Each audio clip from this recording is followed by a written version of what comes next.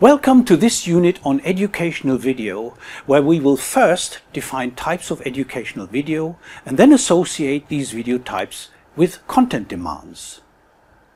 As usual, you should start with a virtual session, where we first look at the parameters that help to define educational video types, then at the equipment you need for video production, and last but not least at some selected aspects of video production.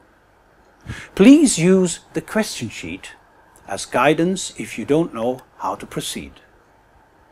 This unit's mastery worksheet is an input task about educational video, but it should not be problematic after the virtual session.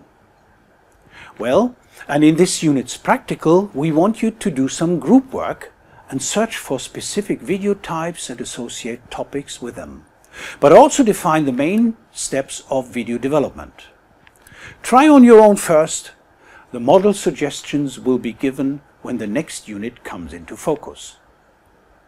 So this unit involves a number of hopefully interesting aspects and we made it as accessible for you as possible.